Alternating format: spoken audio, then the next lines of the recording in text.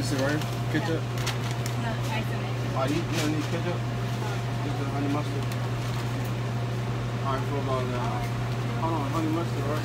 It'll be about 10 minutes. It's cooking on the grill. No, I'm just bullshit.